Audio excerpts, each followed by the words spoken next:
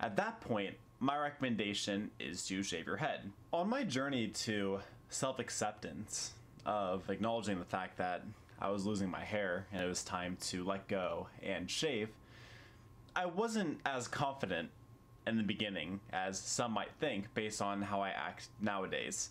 See, in high school, I did my very best to hide my receding hairline. In fact, I had enough hair to where if I fashioned it just right, it covered up the bald spots and I looked like everybody else around me. And for a while that really worked. And then I started getting stressed out because if there was a really windy day or rained a lot, it would show my thinning hair and my receding hairline. So it took a while after high school, maybe like a few weeks to a month, where I finally decided to shave my head. What led me to that decision was looking on YouTube, ironically, and trying to find videos talking about how people made the jump into shaving their head. See, I'd had short haircuts in the past, but I always had a full hairline, so it's not like it looked abnormal or anything for my age range. I just had shorter hair sometimes, other times I had longer hair. I didn't really have as much of a preference back then. So I'm looking at these videos, and I'm listening to these guys talk about their experiences balding. Now, unfortunately, these men were in their mid to late 20s, maybe sometimes in their 30s, so not really a whole lot of people could relate to my experience as a young balding person. And what they eventually said was, the reason why they decided to shave their head was because it looked worse trying to hide it than it did just shaving it off.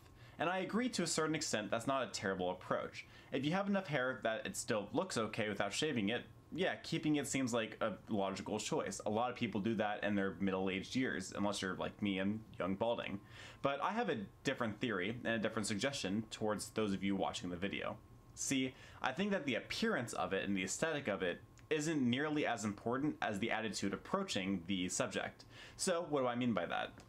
When you start to notice a receding hairline, you go through a few different emotions. Usually you're thinking about, can I stop this or can I reverse this? A lot of people turn to ointments, pills, uh, surgeries, whatever it might be to try to regain some of that lost hairline, or at least to slow down the process. Once people get through that denial phase, they start to get really stressed out about it, and they'll do things like combing over their hair, hiding the bald spots, wearing hats, beanies, doing whatever it takes to make the appearance of losing hair not look like losing hair. So you go through that whole process, and you finally get to the point where you're just over it. You're spending way too much time in the mornings throughout your day adjusting your hair, trying to make it look better, spending way too much money on medications, surgeries, procedures, whatever it might be. And you finally get to the point that I got to, which is acknowledging and accepting the fact that you're not getting your hair back and trying to decide what the next step is. At that point, my recommendation is to shave your head. Now, unfortunately, if you're in high school or in your early 20s, it's pretty hard to find people with the same level of receding hairline, at least that I have. I'm 22 years old, and my hair is not growing back anytime soon. So, for me, what made it the easiest to decide to finally shave my head was understanding that my value as a human being is not intrinsically tied to my appearance. Now, I've had a few people in my comments in the past tell me that I have it easy. I'm a relatively taller individual, I have a nice jawline, I have pretty eyes, insert whatever other compliment they might have to me, saying why it was easier for me than it was for them. But I think that's besides the point. The fact of the matter is, the best time to shave your head is whenever you're finally confident and comfortable with the idea of shaving your head. You shouldn't force yourself to do it because people around you are saying that your hair looks bad. You shouldn't force yourself to do it because I'm telling you that's a better idea. You should do it willingly because you actively want to focus more on who you are as a person than what you look like. And once you get to that point, you're going to feel a lot happier, regardless of how you look, regardless of your sex appeal. What's most important is accepting who you are as a person and acknowledging that what you look like doesn't matter. And if you can be mature enough to get to that point early on, especially if you're like me and balding your teenage years, and if you can accept that earlier, you should absolutely shave your head earlier. The main reasoning being, as you move on in life, you're going to meet a lot of new people, especially out of high school and college, once you start getting into the workplace, and the professional circles.